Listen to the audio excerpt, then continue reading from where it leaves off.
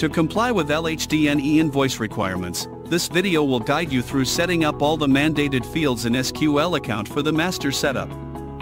All these setup you only need to do once in SQL account, it will ease your e-invoice submission later. Step 1, go to File, Company Profile. Enter your new business registration number and tax identification number. By clicking the search button, SQL will automatically update your company BRN and TIN. Remember to select your company's MSIC code as well. Under General, you are required to fill an address, ensure that you select Malaysia as the country to enable the e-invoice function. Postcode, city, state, and phone. Email is optional. Under the SST tab, if your company is registered for SST, make sure to fill in your sales tax number or service tax number or both. Step 2, Update Customer Info, Go Customer, Maintain Customer. Right-click on the gray panel and select TIN Lookup.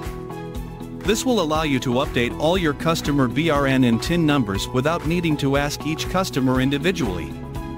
If the BRN number is entered, the TIN will be updated automatically. If there is no BRN number in the SQL system yet, you can click the search magnifier icon to update both BRN and TIN. Click Save to finalize the update of your customer BRN and TIN list. Moving on to the buyer profile, under the general field, the following are mandatory, company name, address, country, postcode, city, state, phone, and currency. Email is optional. Next, go to the Tax tab. Sales tax and service tax numbers are mandatory only for SST registrants. The new BRN, old BRN, and TIN are auto-updated. If you wish to change the ID type, example, from non-business to Malaysian individual, select NRIC for Malaysians or passport for non-Malaysians.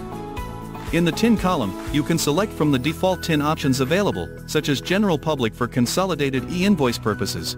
Step 3, Set up classification, go to Stock, Maintain stock item. Here, you need to assign a classification code. A list of classification codes provided by LHDN is available for selection. What if you have thousands of items?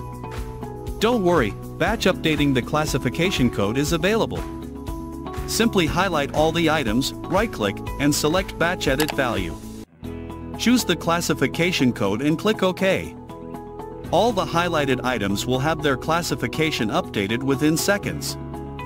Check the classification column to verify the updates. If you have items with different classification codes, repeat the process as needed. With SQL Account, we've streamlined your workflow by integrating features like SSMBRN search and TIN number lookup. This eliminates the need for tedious email exchanges to collect information from customers individually, significantly boosting your company's efficiency. Visit SQL website to book a free demo and see how our software can enhance your business operations. Check out how easy it is to generate an e-invoice with SQL account in the next video.